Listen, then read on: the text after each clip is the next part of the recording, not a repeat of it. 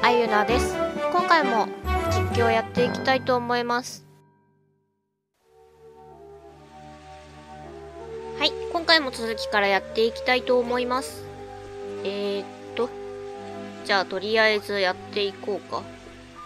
いててて入れねえ。んとじゃあ今までこっちのやってきたからね。次まあでも墓場とか作ってはいたけどこっちの依頼を。ほい。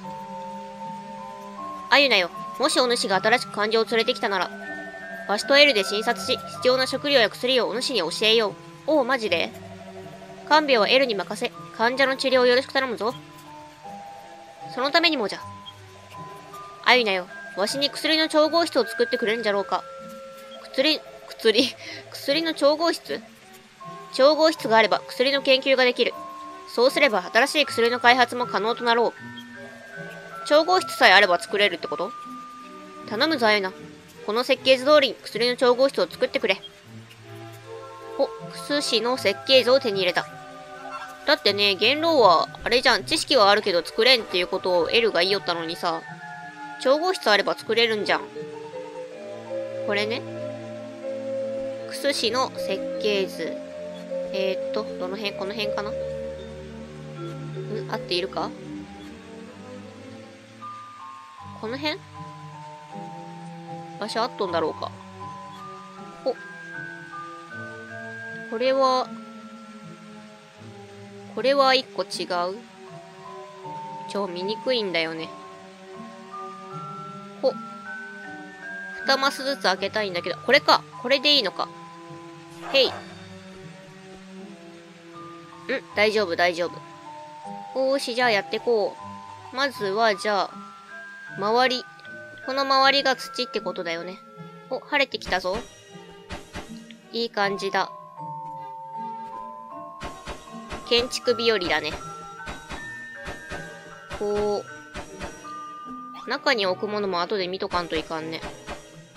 とりあえず周りは土だろうということしか分かっていない。よし。あ、なくなった。びっくりした。よいしょ。あ、間違った。ここ違う。は。は。よし。えー、っと。よし。これで、あ、この真ん中の部分もかな。ほい。んで、あとは、壺が2つ、焚き火1つ、木の机1つ、調合壺1つ、藁の扉1つ、収納箱1つ。全部作れるかなじゃあ、とりあえず作りに向かおうぞ。何やってんだよ、あれは。すごい勢いで何かしらやってるけど。えー、っと、じゃあ、焚き火一つね。焚き火を一個作った。んで、藁の扉も一つ。ほい、一個作った。んで、収納箱一つ。ほい、一個作った。んで、壺。壺が2つ。これ個数選んで作れたらいいのにね。なんで1個ずつか全部しか作れんのやろ。んで、木の机。んで、まだなんかいあ、そうそうそう。大事なもの、一番大事なもの作ってないわ。調合壺ね。これがなかったら薬作れねえし。お、ちょうど物いっぱい。じゃあこれで、え、全部作れたかなまあ、とりあえず設置していこう。どこ？じゃあまあ、とりあえず、扉を、は、ここで、んーと、焚き火、焚き火、焚き火がそこ。あれは木の机だな。で、こっち側、右が収納箱。オッケー。よいしょ。お、空き部屋が完成した。今とりあえず空き部屋。そして壺。お、なんだなんだ、レベルが上がった。拠点のレベルが2になった。この時点でもう2になるんだ。よし。壺。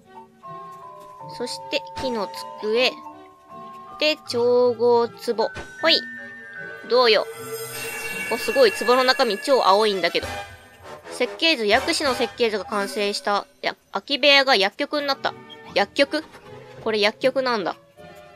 住人が薬を箱に入れる。あ、薬作ってここに置いといてくれるんやね。へいへい、できたよ。できたよ、元老はさん。おお、なんということじゃろう。わしのために調合室を作ってくれたのじゃな。まあ、作れと言われたからな。このリムルダールの地には、お主が見たことのない病がまだまだ存在する。新しい病に効く薬を作るためにも、この調合室は大いに役立つことじゃろう。あゆなよ。わしにはかつて、ウルスという名の弟子がおっての。わしは長年、弟子のウルスと共に、この地にはびこる薬の研究、薬じゃない、病の研究をしておったのだ。しかし、物を作れぬわしらじゃ。研究は失敗し、我が弟子ウルスは、じゃからの、わしは研究を捨て、病に抗うことをやめたのじゃ。ん？どういうこと？病に侵されて死んだってこと？定められた死から逃れることが正しいことなのか、わしにはまだわからん。逃れられるんなら逃れていいと思うけれど。しかし、ものづくりに力を持つビルダーのお主となら何かできるかもしれぬ。アユナ、改めてよろしく頼む。この地の病を癒す薬の開発に共に挑もうぞ。クエストコンプリート、青い油10個。相当スライムを倒したんだね。イエーイ。うわ、びっくりした。なんだなんだ。はい、ということで。まあ、とりあえず、よいしょ。調合室、調合室っていうか薬局なんやね。完成しましたということで、今回この辺で終わっておこうと思います。最後まで見てくださってありがとうございます。よろしければチャンネル登録、グッドボタン、Twitter フォローよろしくお願いします。Twitter の方は動画を見てきましたと一言くだされば、私の方からもフォローを返させていただきたいと思います。いつもたくさんのコメントありがとうございます。また次回の動画でお会いしましょう。まったねー。やっぱそこそこの街で特徴って出てくるもんなんやね。